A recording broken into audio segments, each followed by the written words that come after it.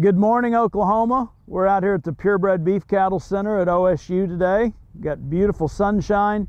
It's the kind of day that gets us excited about looking at spring calves and thinking about how those matings we made last year worked and thinking about marketing decisions on those calves down the road. Today we're going to talk specifically about genetic prediction and EPDs. So what is an expected progeny difference?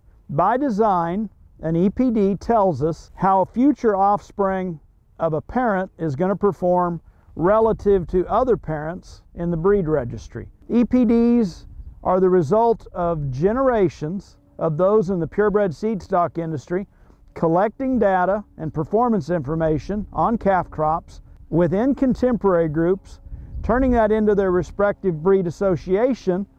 We take that data and statistically analyze it to arrive at the additive genetic merit prediction that takes on the form of an EPD.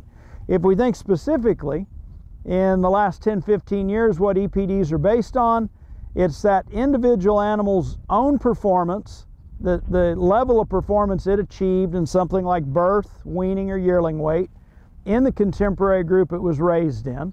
And it is also based on every other animal that shares pedigree relationship in the registry to that particular animal's performance in their contemporary groups.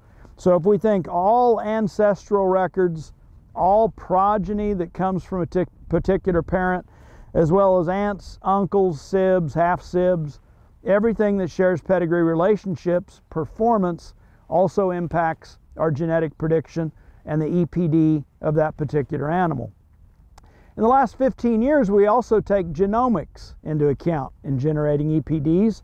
This is where we submit a DNA sample to our breed registry.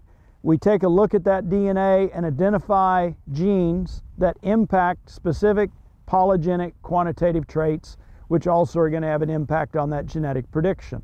So, along with each EPD, we see an accuracy reported. That's commonly going to be abbreviated in your sire summary as ACC. Accuracies range from 0 to 1, and they are there to tell us how much information has been taken into account in the generation or calculation of that EPD. And accuracy values that get closer to 1 mean that we base those on more information or more information has been taken into account in the calculation of that genetic value and we can put more reliability in it. Again, as we think about animals that become parents, sire or produce a lot of progeny, animals that have been genomically tested, we're going to start to see accuracies that get up there closer to one. If we think about an example of how to use EPDs and for all the statistics and the long-term record keeping that go in and give us modern genetic prediction that is more accurate than ever before that we have available to us in the beef industry, EPDs are very straightforward in how to use them.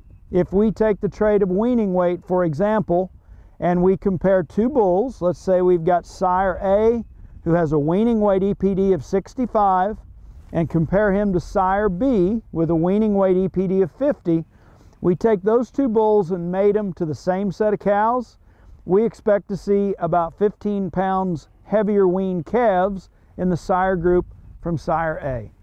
So that's our overview of genetic prediction and EPDs. Look forward to seeing you again next week on Cow Calf Corner.